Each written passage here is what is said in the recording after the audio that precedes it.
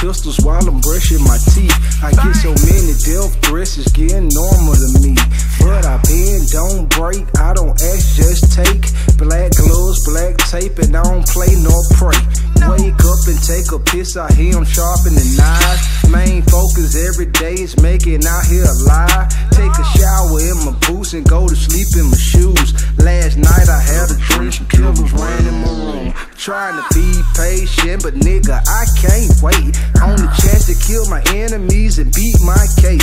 So when they ask me how I feel about them, I can't say. You're either with me or against me, or you're in my way. I got a pack of hungry wolves, and if I don't feed them, then they might turn on me, feel like I don't need 'em. I keep the best pedigree, but hell, I don't breed them.